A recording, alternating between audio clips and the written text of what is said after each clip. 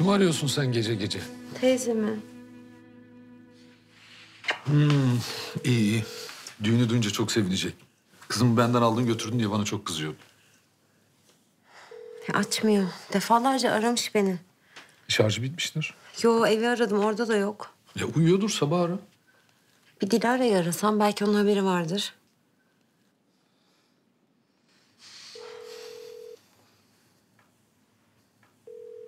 Bebişim. Kuzum ne yapıyorsun? İyi yavru senden ne haber? Teyzemle konuştun mu? Haberin var mı teyzemden? Yok ama yarın gideceğim zaten. Haber ver bana olur mu? Dilara seni Bursa'ya bekliyoruz. Düğünümüz var. Ya enişte adamsın sen bizim keçiyi nasıl ikna ettin? Keçi mi?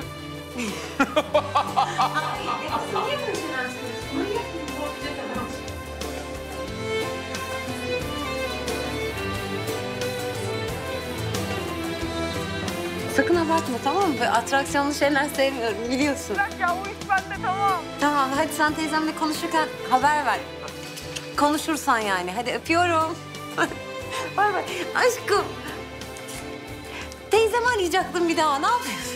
Biraz da benimle ilgili. Kızacağım şimdi bak ha. Aa. Düğünden önce olmaz. Ha? Şimdi tam Esma Sultan'ın gelini oldu. ben seni annemle alışverişe gittiğinde görürüm. Akşama kadar tabanların şişsin ararsın sen beni. Nereden biliyorsun? Belki ben annene fenalık bastıracağım. Esma anne bunu da istiyorum. Esma anne şunu da istiyorum diyeceğim belki. Nereden biliyorsun? Nesin sen ya?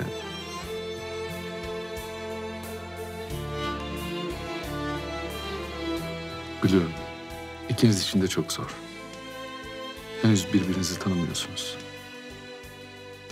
Ama aynı adama aşığız. Bundan şikayetim yok.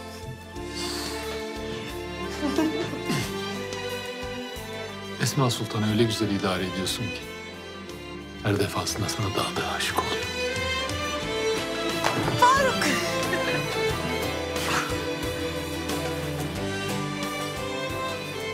Sana bir özür borçluyum.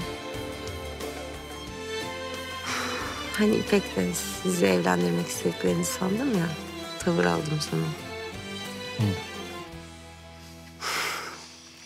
Çok aptalmışım. Özür dilerim. Ama seni de fena kıskanıyorum yani haberin olsun. Ama düğünden önce olmaz.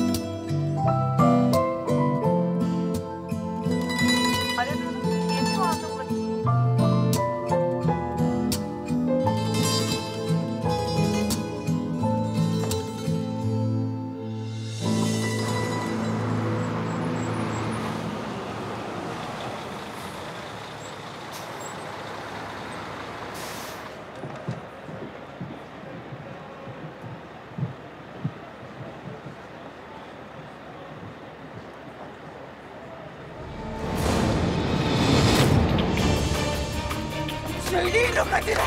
Beni böyle bacağımın gibi atamaz. Yürü git kadın. Sana burada ekmek yok.